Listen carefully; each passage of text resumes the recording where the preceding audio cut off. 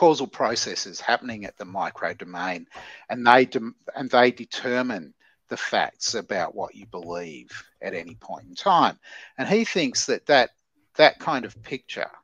undermines the idea that um, that you reason, for example, because the transition between the states is just determined by the microphysical laws, and reason doesn't enter the picture at all. So he talks about uh, determination by motion of atoms, and he's he's thinking that there's something wrong with that picture, the picture that has um, your um,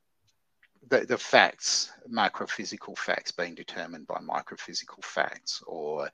claims about um, macrophysical properties being determined by facts about microphysical properties.